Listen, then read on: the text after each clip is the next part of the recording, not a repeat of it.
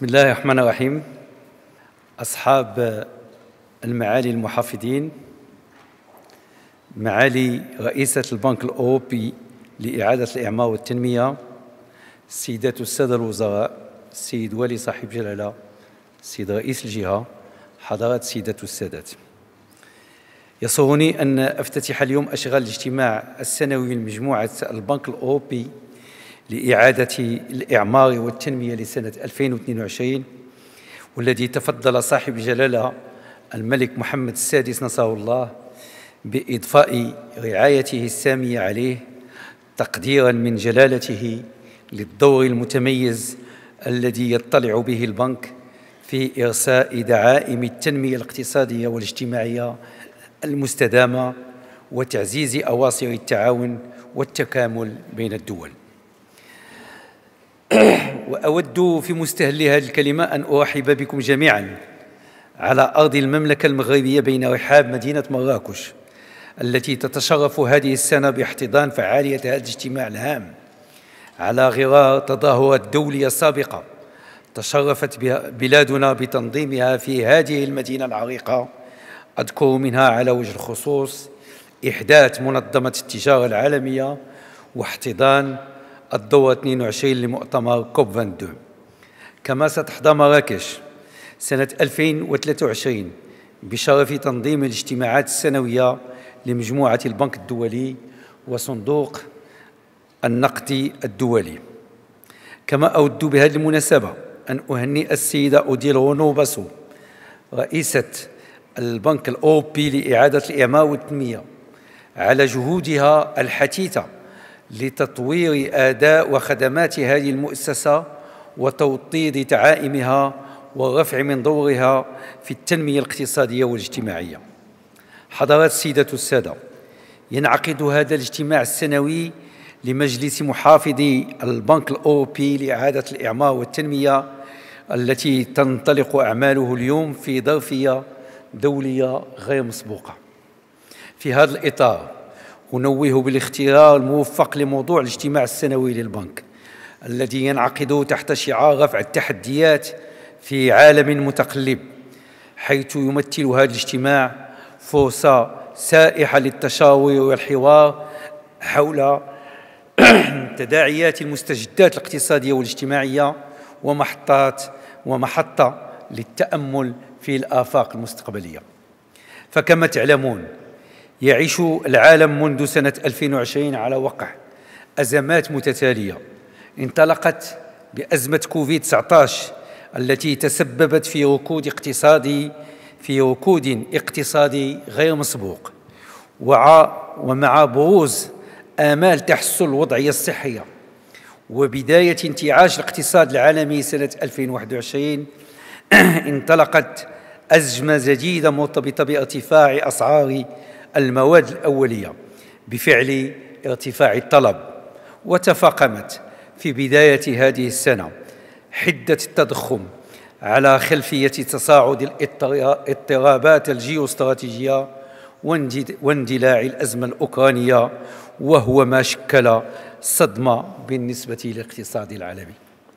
والإجابة للإجابة عن هذه التحديات لا يمكن أن يقتصر الأمر على تسجيل صعوبة المرحلة أو تدارس آثارها فحسب. بل يجدر توحيد جهود مختلف الفاعلين دوليا بروح مسؤولية مشتركة من أجل وجود أو من أجل إيجاد الحلول الكفيلة بإخراج العالم من هذه الأزمة وتخفيف آثارها على الاقتصادات الوطنية. خاصة على الدول متوسطة ومنخفضة الدخل حيث تعاني الدول النامية خاصة من العجز الحاصل بين التوازن بين العرض والطلب فيما يخص المواد الأولية المستوردة وينتج عنها عن استمرار هذا الوضع تفاقم سلوكات غير مستدامة. فهل يعقل مثلا أن تستعمل الأراضي الفلاحية كمصادر إنتاج بديل للطاقة؟ في حين أن العالم في حاجة لتوافر المنتوجات الغذائية الأساسية وبأثمنة معقولة.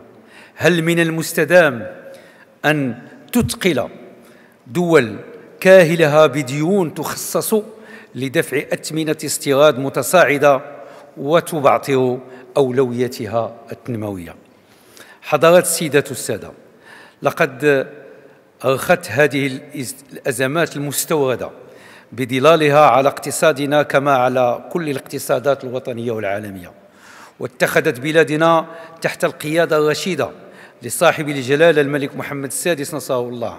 مجموعة من الإجراءات الاستباقية الهادفة كانت محطة إجماع وإشادة وطنيا ودوليا.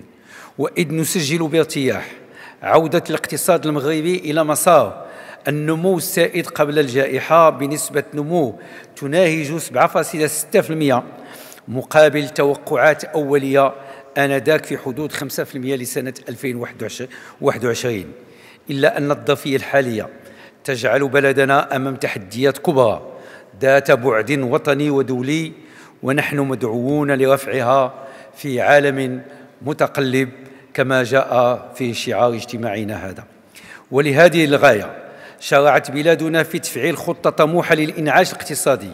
تهدف أساسا للإحداث طفرة نوعية في هيكلة الاقتصاد الوطني من خلال تشجيع القطاعات الواعدة ذات القيمة المضافة العالية وتحفيز الاقتصاد الأخضر ورقمي والرفع من نسبة إدماج الرفع من نسبة إدماج النساء في سوق الشغل الشغل والتعجيل باستعادة قدرات القطاعات الإنتاجية تماشيا مع التوجهات الاستراتيجية لسياسة اقتصاد السوق والمبادرة الخاصة التي ينهجها المغرب منذ عقود.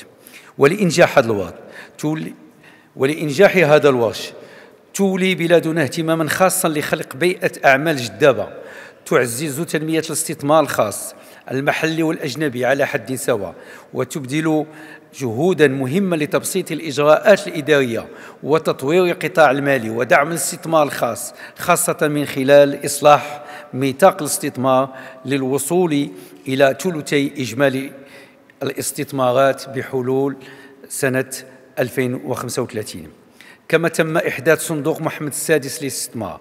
لتسريع جهود الإقلاع الاقتصادي من خلال المساهمة في تمويل المشاريع الاستثمارية الكبرى ومواكبتها على الصعيدين الوطني والترابي مع فسح المجال للشركاء المؤسساتيين الدوليين للاستثمار في هذا الصندوق.